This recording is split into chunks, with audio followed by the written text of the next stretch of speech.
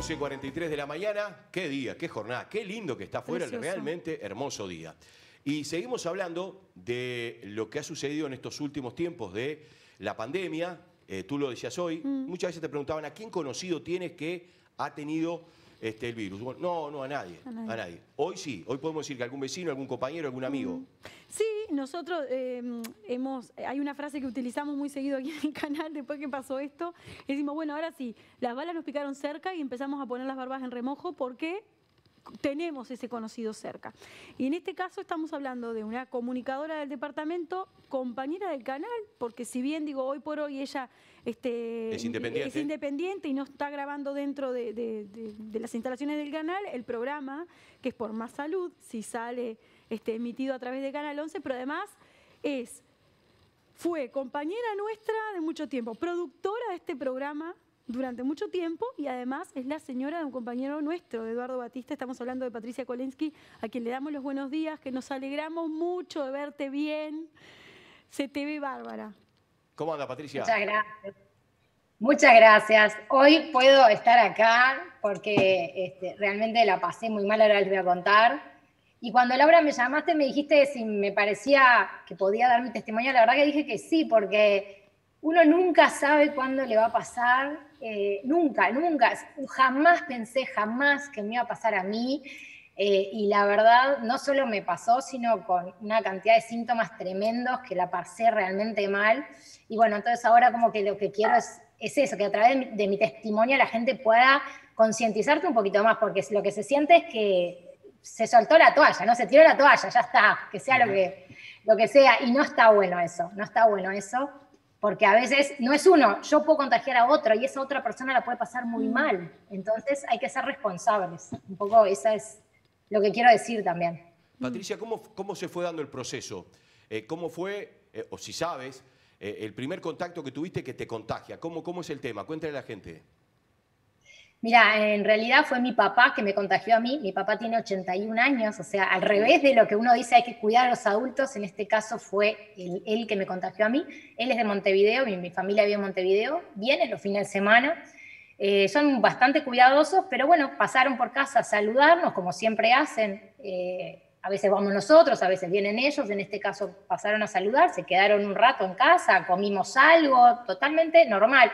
No tuve los cuidados que tenía cuando arrancó la pandemia, ¿no? Que uno con los mayores, con sus padres, estaba alejado, con tapaboca. Ya habíamos aflojado, por lo menos con nuestra gente más cercana. Creo que Laura hablábamos de eso Sí, también Es este, hace unos días, que con tu mamá ya le das un beso, ya, ya tenés otro tipo de trato. Tal cual. No así con el resto de la gente, pero con tu familia ya soltaste. Entonces, sí, por supuesto, nos dimos un beso. eh, cuando se fueron, bueno, buen viaje, buen, buen retorno a Montevideo, comimos, compartimos un- una cena, sencillo. Y bueno, y ahí no pasó nada. A los dos días, tres días, mi padre se empieza a sentir mal, pero tampoco nunca imaginábamos que era esto. Una gripe, dijimos, empezó a sentir como, como engripado.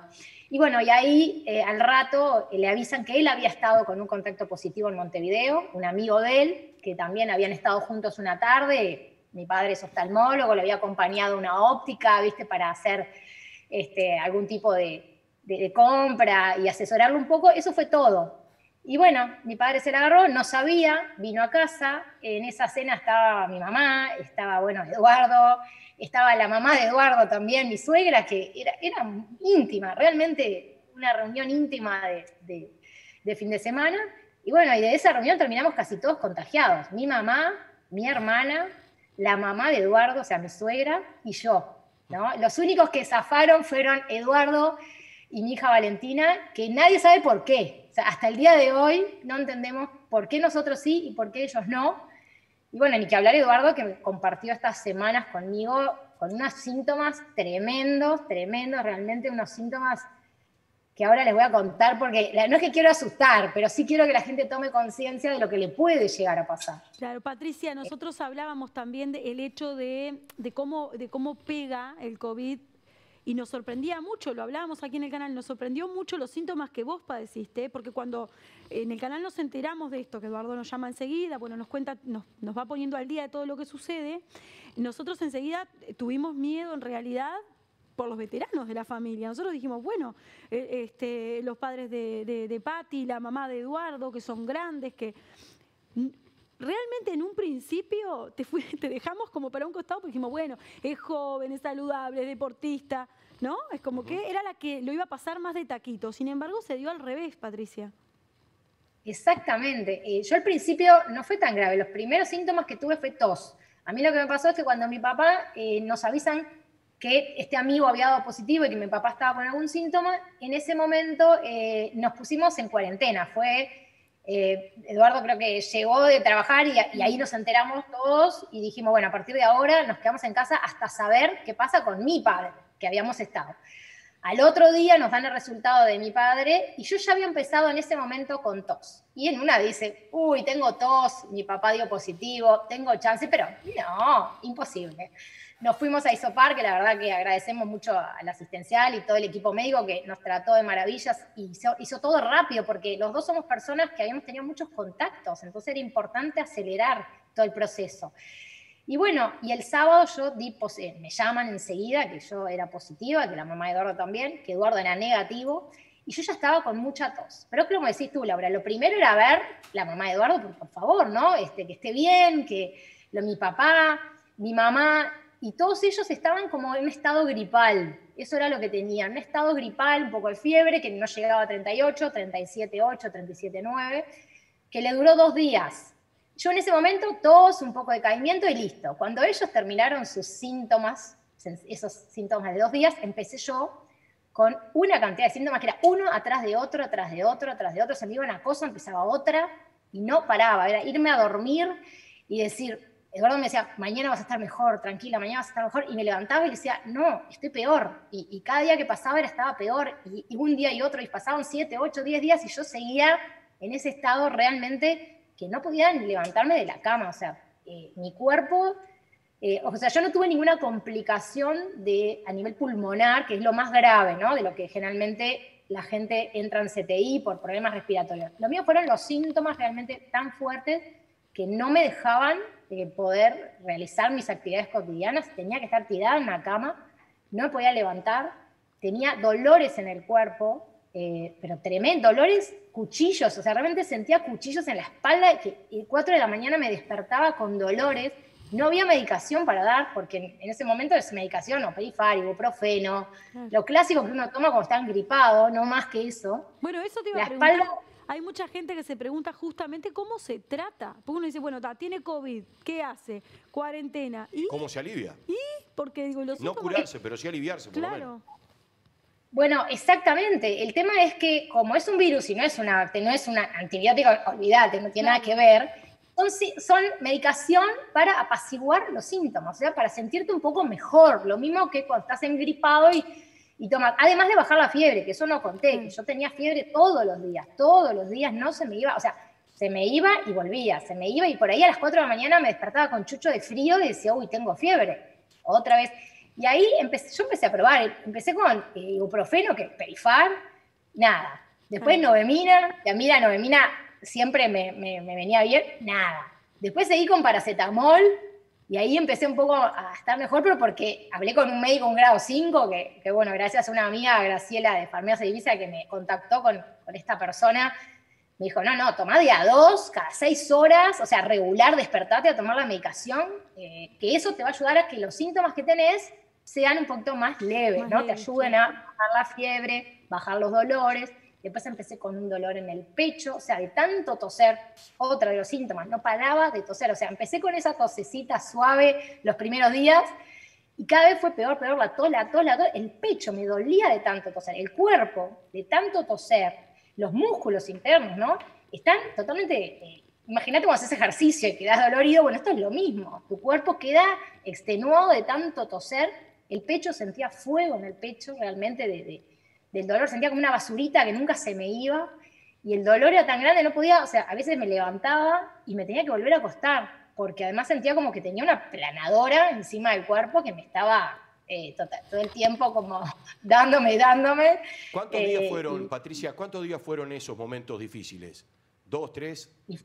No, no, no, fue como cinco o seis días, te diré, que este, esos, Gustavo, esos dolores tan fuertes duraron como seis días. O sea, esto era mi miedo. Eh, mi miedo era que no se me iba, porque una gripe dos días uno lo aguanta, pero ya seis días no, lo aguantaba, o sea, mi cuerpo eh, realmente estaba sufriendo porque el cuerpo no podía, no podía caminar de la fuerza, que ya no tenía fuerza, de, y los dolores eh, ahora compadezco a la gente que sufre un dolor crónico, ¿no? Que hay gente que tiene o pinzamientos o hernias o situaciones en la espalda de dolores crónicos. La verdad que lo viví en carne propia, es tremendo, tremendo.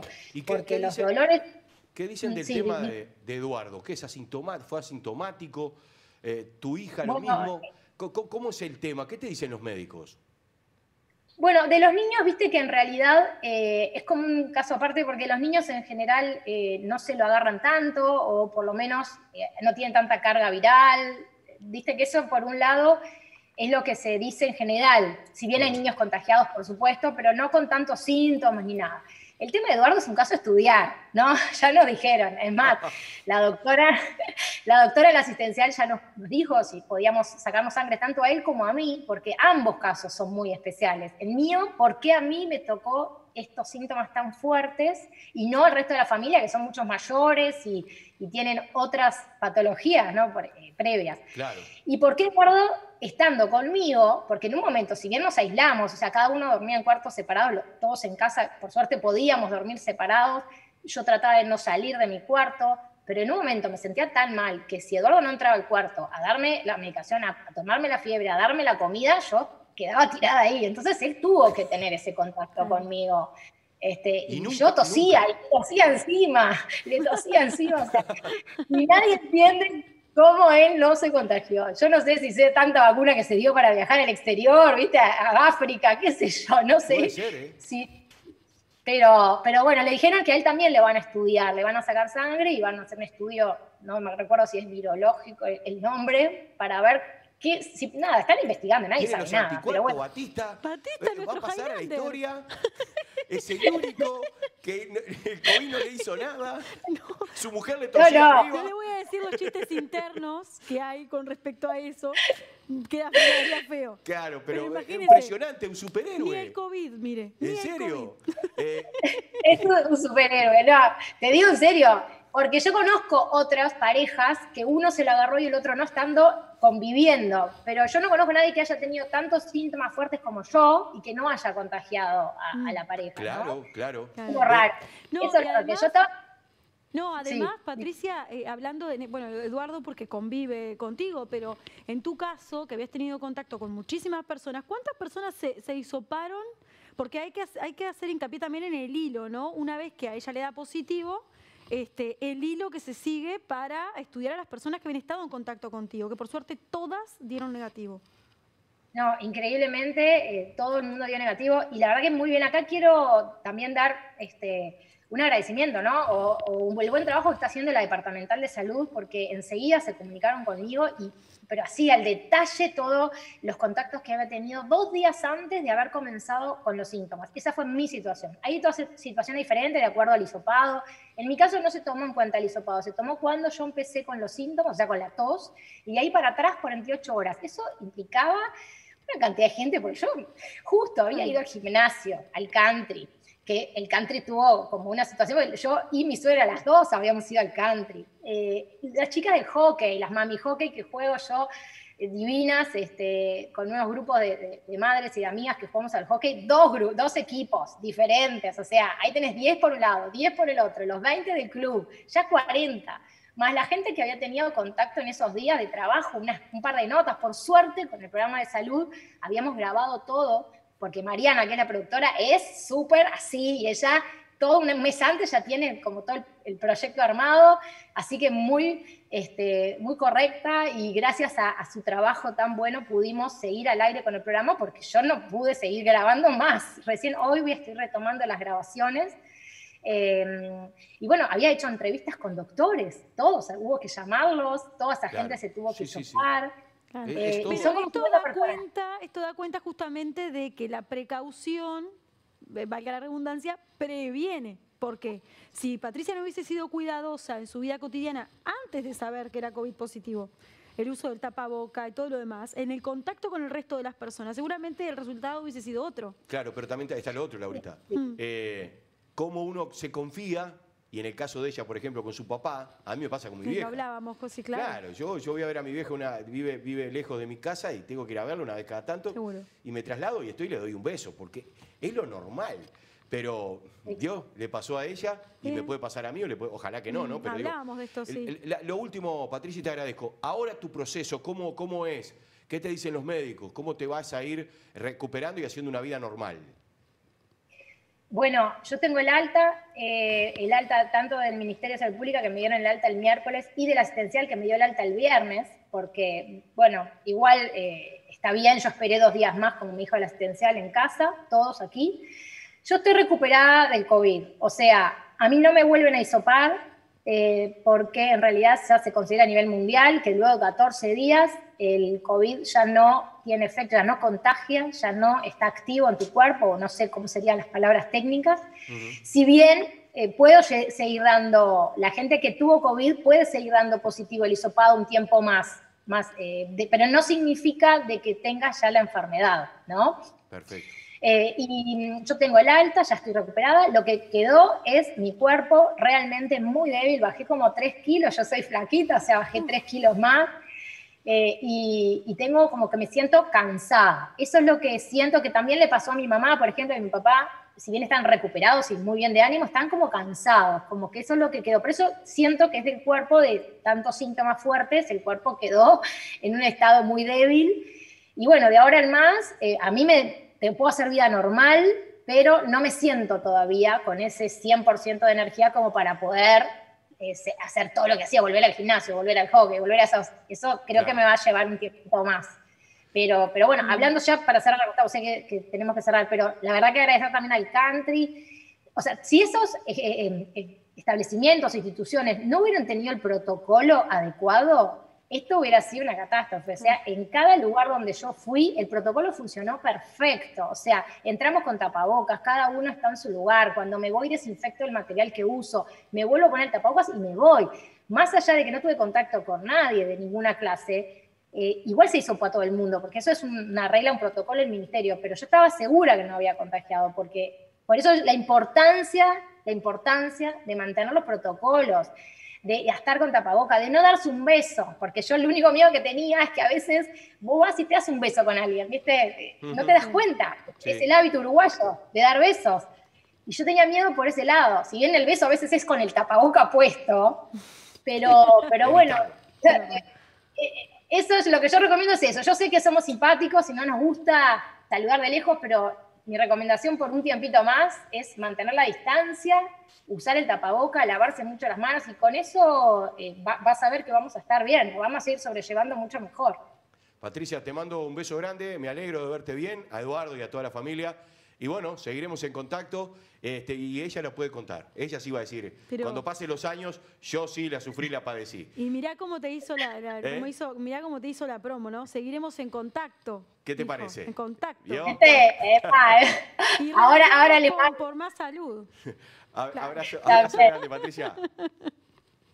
Chao, gracias a todos, saludos a todos por allá. Muchas gracias. Qué lindo Así pasó. Bien, Patricia sí. quien, bueno, este, estuvo padeciendo lo que es esta esta pandemia y este virus que este, a ella le, afectó mal, y, increíblemente a su pareja, a su marido, a Eduardo Batista. Sí, no. y hablábamos ayer con Patricia, digo, e, esto de aflojar con, con, el, con los más cercanos, nos pasa a todos. Nos pasa a todos. Uno afloja con el más cercano y el más cercano eh, a veces contagia como O nosotros podemos contagiar al más cercano o el cercano a nosotros. Exacto, ¿Hacemos la pausa?